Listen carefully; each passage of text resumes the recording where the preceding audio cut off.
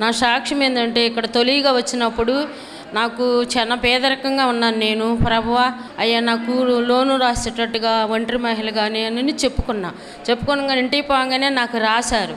రాసినాక ఇప్పుడు ఆరు నెలలు అవుతుంది. నేను ఇక్కడికి వచ్చేది ఇప్పుడు ఇది ఏడో నెల. నాకు ఏసయ్య మరి ఏడో నెలలో వస్తే నేను సాక్ష్యం చెప్పుకుంటాను. నాకు దేవుడు నిన్న ఫస్ట్ తారీఖు పింఛన్ ఇప్పించాడు. మెడ నొప్పి బాగోలేదు నాకు అప్పుడు. విపరీతంగా నొప్పి వస్తుంది. వస్తుంటే నా భర్త ఇక్కడ కొట్టాడు అంగుళం తేడా వచ్చిందంటే డాక్టర్ కాడికి వెళ్తే చాలా డబ్బులు అవుతాయి అని.